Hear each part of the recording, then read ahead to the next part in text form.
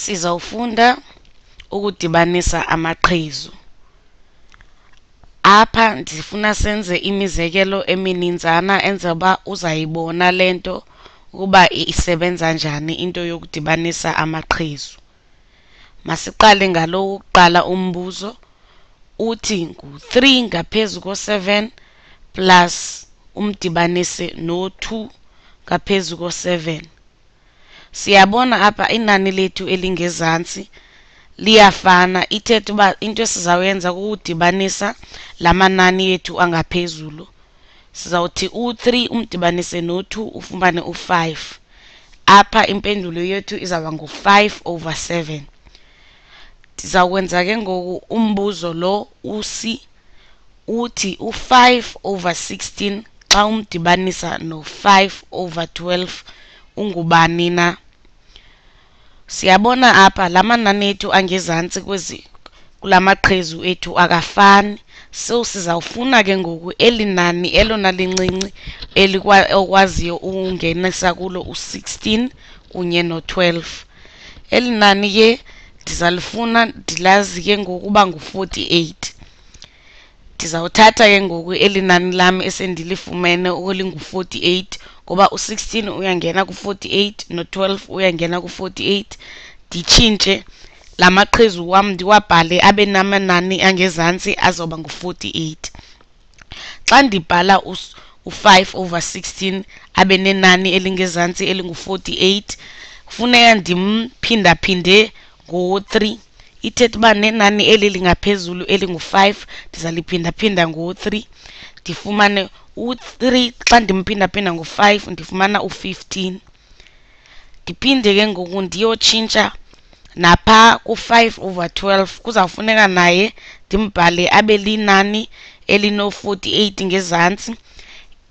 Xa ndimbhala kanjalo ndiphindaphinda ngo-4 ithetha uba nala 5 wam kuzawufuneka ndimphindaphinde ngo-4 u-5 xa umphindaphinda ngo-4 uzawuba ngu-20 siza siyabona ke ngokuba la manani ethu angezantsi apha kula maqhezu wam omabini ayalingana angu-48 so sendingathatha ke ngoku ndidibanise la manani angaphezulu wam u-15 xa umdibanisa no-20 ufumana u-35 impendulo yam izawuba ngu-35 over u-48 ndibe ndigqibile ke ngoku apha ukwenza lona umbuzo.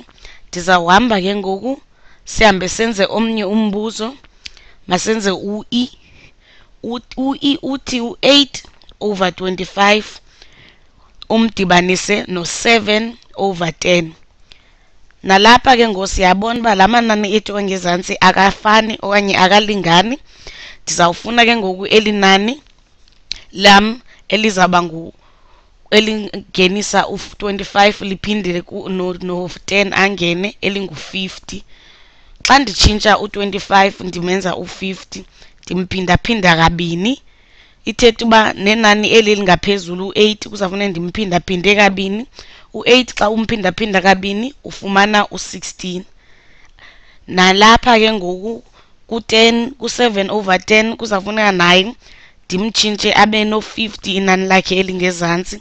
Ndizamphindaphinda ngo-5 no-7 wam funeka ndimphindaphinde ngo-5 ndifumane u-35 sendino xa sendibona uba amanani am angezantsi ayafana ndizawuthi ke ngoku apha la angaphezulu u-16 xa ndimdibanisa no-25 ndifumana no-35 ndifumana bani?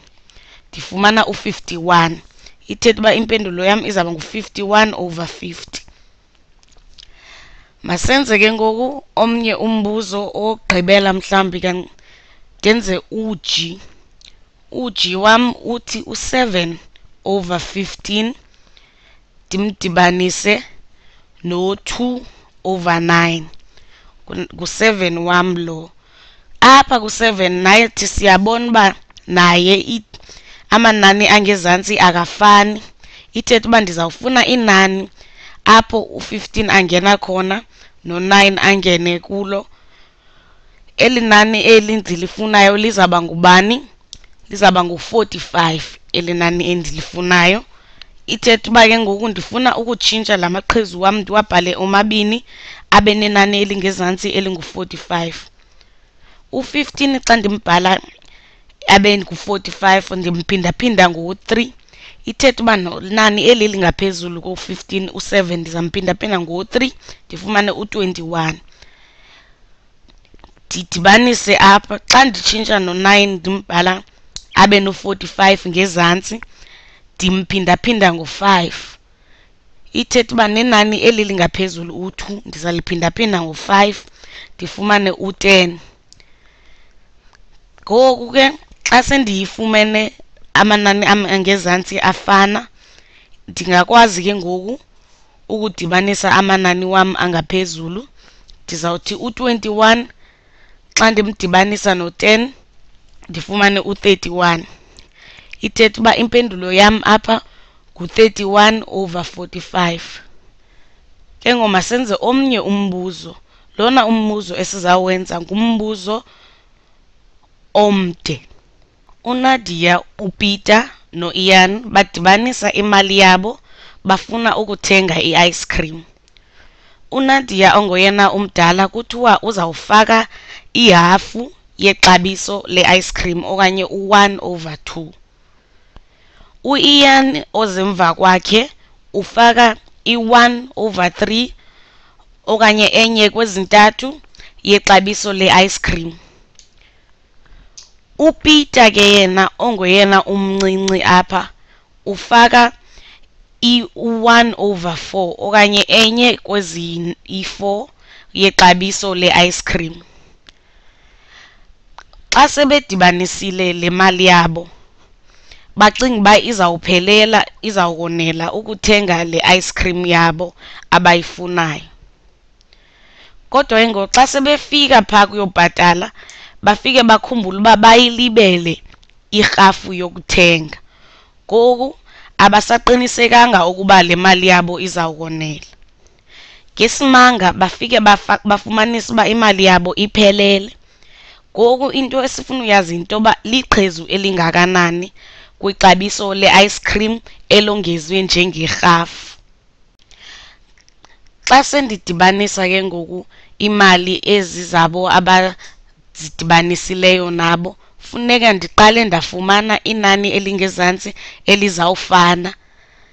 Eli nani elingezantsi lizawuba ngu-12 ndizawutshintsha xa nditshintsha u-1 over 2 abe no-12 ngezantsi uzawuba ngu-6 over 12 ngoba u-2 xa ndimphindaphinda ngo-6 ndifumana u-12 no-1 xa ndimphindaphinda ngo-6 ndifumana u-6 xa ndifuna nalapha ku-ian ndifuna ukulenza libe linani elino-12 ngezantsi ndizawuphindaphinda ngo-four. Ithetha uba ndizawufumana u-four over 12 ngoba u-four xa u-three xa ndimphindaphinda ngo-four ndifumana u-12 uPeter yena naye xa ndilitshintsha ndilenza libe no-12 ngezantsi ndiphindaphinda ngo-three. Ithetha uba ndizawufumana u-3 over 12 ngoba u-1 xa ndimphindaphinda ngo-3 ngu-3 u-4 xa ndimphinda ngiphinda ngo-3 ngu-12 ndizawudibanisa ke ngoku la maqhezu endiwaniyo esendiwabhalile apha anenani elingezantsi elingu-12 ngaphezulu ndizawuba no-6 umdibanise no-4 umdibanise no-3 xa sendidibanisa ke ngoku la manani u-6 xa ndimdibanisa no-4 ngu-10 ndidibanise no-3 ngu-13 ndizawufumana u-13 over 12 wabona ke ngoku into esiyifumeneyo i-fraction ekuthiwa yi-improper fraction. Kodwa ndingaphinde ndilibhale elinani njengo-12 over 12 ndimdibanise no-1 over 12 u-12 over 12 siyamazi uyafana no-1 ithetha uba ndizawuba no-1 kunye no-1 over 12 so imali yabo xa beyidibanisile unadia no-ian nopeter ingu-1 no-1 over 12 kodwa ke ngo into besifuna uyazi yinto yoba liqhezu elingakanani eli kule mali yabo elifakwe njengerhafu. Siyambona u-1 lo siyamazi ukuba linani elipheleleyo lixabiso le-ice cream ingekafakwa ihafu yokuthenga. Ithetha uba ke ngoku u-1 over 12 lo oshiyekileyo liqhezu elifakiweyo njengerhafu yokuthenga.